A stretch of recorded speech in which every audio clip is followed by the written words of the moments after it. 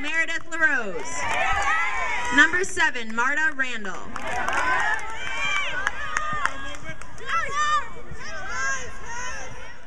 I think we were balancing trying to transition, um, transition on attack, and also you know working on some of our set plays and freelancing off of those. And I think we did a really nice job freelancing off of um, you know this this didn't work, but suddenly the defense you know played us this way and the back door was there. So we just tried to look for the back doors pretty much everywhere.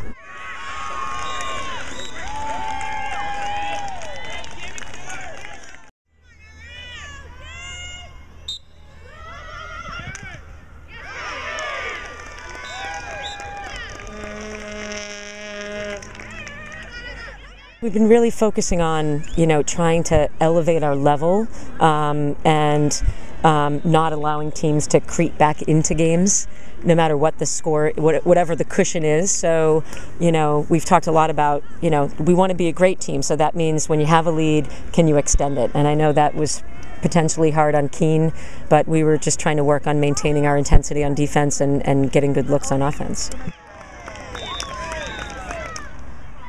I think that, that we deserve to be in the NCAA tournament, even though we were an at-large bid, um, fourth team in NESCAC, you know. Um, but I, I, think we can take away um, the confidence that that you know we can play with top teams, and obviously from here on in, it's going to be uh, a, a, challenging road. But uh, certainly, you know, we have a lot to prepare for before Saturday's game, and, and then uh, we'll see what what happens from there.